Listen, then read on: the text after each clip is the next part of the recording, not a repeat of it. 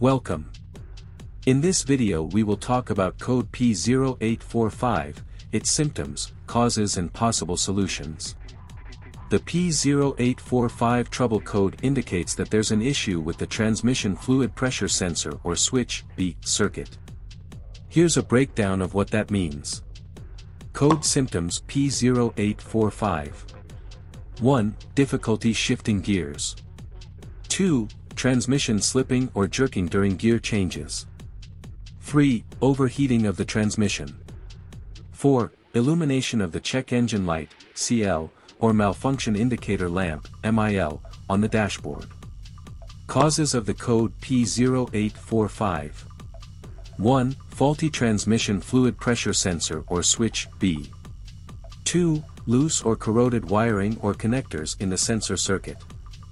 3. Intermittent short circuits in the sensor circuit. 4. Wiring harness issues, such as chafing or rubbing against other components. 5. Internal transmission problems.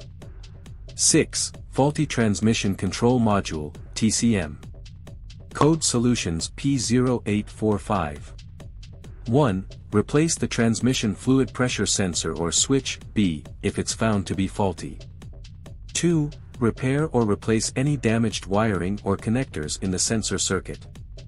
3. Secure and insulate any wiring harness issues to prevent chafing or rubbing. 4. Check and adjust the transmission fluid level if it's too high. 5. Address any internal transmission issues if detected. 6. Check and, if necessary, replace the transmission control module, TCM, if other issues are ruled out. Thank you for watching this video, don't forget to leave a like and a comment, see you next time.